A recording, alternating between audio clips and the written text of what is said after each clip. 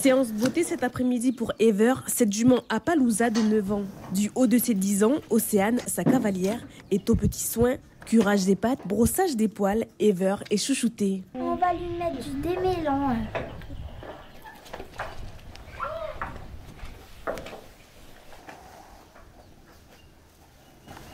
Voilà sa tresse.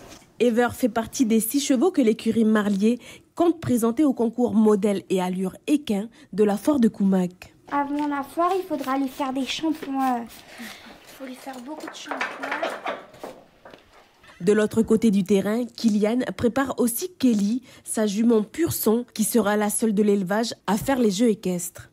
Pour ce faire, Kylian travaille les mouvements de l'animal. Ben là, on a travaillé sur euh, des cercles à deux mains euh, pour euh, les chauffer. Oh, oh.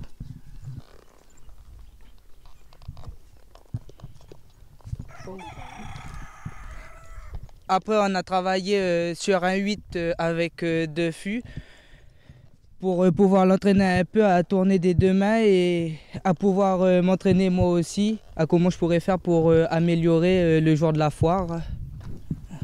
Mais le plus difficile, à mon avis, c'est comment C'est de pouvoir euh, vraiment bien travailler, bien réussir à tourner autour des fûts, tourner régulièrement, sans faire des écarts. Toilettage fini, Océane entraîne Ever au défilé. Ben, il faut qu'elle se mette au carré, il faut qu'elle trotte, et il faut qu'elle s'arrête. Il faut lui mettre les pieds alignés et il faut se mettre comme un carré. Chaque année, Kylian et Océane s'investissent dans la préparation de leurs compagnons.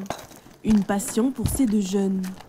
Le concours modèle et allure équin débutera vendredi à 8h. Les jeux équestres commenceront ce même jour à 16h et continueront tout le week-end.